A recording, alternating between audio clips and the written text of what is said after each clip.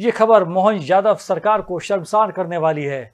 मुख्यमंत्री डॉक्टर मोहन यादव के गृह नगर उज्जैन में एक अपराधी ने सरेआम सड़क पर बलात्कार की घटना को अंजाम दिया। दिन दहाड़े उज्जैन के सबसे व्यस्त चौराहे पर एक महिला के साथ युवक ने रेप किया। इस घटना का दुखद पहलू यह है कि एक तो अपराध करने वालों में पुलिस का खौफ नहीं है और दूसरा लोग इस शर्मनाक घटना का वीडियो बनाते रहे। किसी ने भी बलात्कारी को रोकने की कोशिश नहीं की। कोलकाता में डॉक्टर के साथ रेप और उसकी हत्या से देश भर में हंगामा मचा हुआ है। देश की सबसे पवित्र नगरियों में से एक उज्जैन से अब एक शर्मसार कर देने वाली तस्वीर सामने आई है। जहाँ दिन दहाड़े सड़क किनारे एक महिला के साथ बलात्कार की घटना को अंजाम दिया गया। ये घटना कोयला फाटक चौराहे के फुटपाथ की है, जो शहर के सबसे ज़्यादा व्यस्त और चहल पहल वाले इलाकों में से एक है। हैरान कर देने वाली बात यह है कि घटना के समय इस इलाके से पुलिस नदारत थी। दूसरा शहर के जिम्मेदार लोग या तो इस कांड को अनदेखा करते रहे या पीड़ित महिला की मदद करने की बजाय इस घिनौने कृत्य का वीडियो बनाते रहे। सोशल मीडिया पर इस वीडियो के वायरल होने के बाद पुलिस होश में आई और मामले की तफ्तीश शुरू की और एक आरोपी को गिरफ़्तार कर लिया।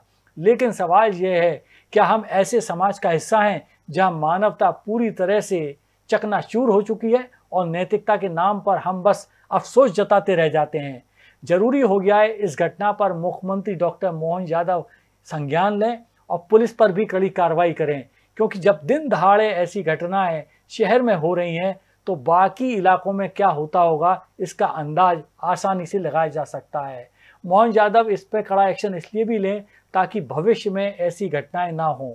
इस बलात्कार कांड को लेकर कांग्रेस ने सोशल मीडिया पर घटना का वीडियो पोस्ट कर सरकार के कामकाज और महिलाओं की सुरक्षा पर सवाल खड़े किए हैं। कोयला फाटक में एक दुष्कर्म की घटना का एक वीडियो हमारे पास आया था। तत्काल वीडियो पर संज्ञान लेते हुए जो पीड़ित महिला है, उसके थाना लाया गया और उसकी शिकायत पर एफआईआर दर्ज की है, जिसमें बताया गया कि एक युवक था जो कि कोयला फाटक कलारी के पास उसको मिला था, जिसने उसे शादी का प्रलोभन दिया कि हम तुम्हारे लिए ज़िंदगी भर अपने साथ रखेंगे और तुम हमारे साथ में रह लो।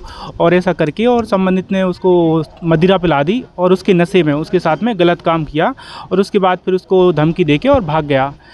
महिला की शिकायत हमारे तक आई एफ़ दर्ज की गई और संबंधित आरोपी को गिरफ़्तार करके और माननीय न्यायालय में पेश किया गया है। हाँ, चूँकि बहुत काफ़ी गंभीर घटना थी और पुलिस ने तत्काल एक्शन लेते हुए तत्काल एफआईआर दर्ज की और तुरंत ही एफआईआर के आधे घंटे में ही आरोपी को गिरफ़्तार करके माननीय न्यायालय के समक्ष पेश किया है। Rabindranath Tagore university Bhopal N I R F rank for